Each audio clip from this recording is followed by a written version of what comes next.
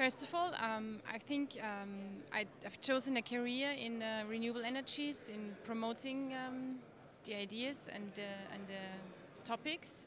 So it was a personal decision to, to um, make a career in this field. Um, it's a personal um, decision which uh, has a hopefully large impact on other people. On a more personal, private level, I'm vegetarian. I cycle I go to work by using the bike.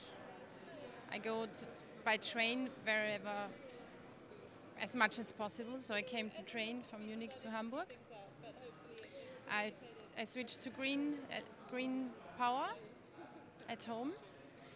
And uh, wherever I can, I try to live a sustainable lifestyle.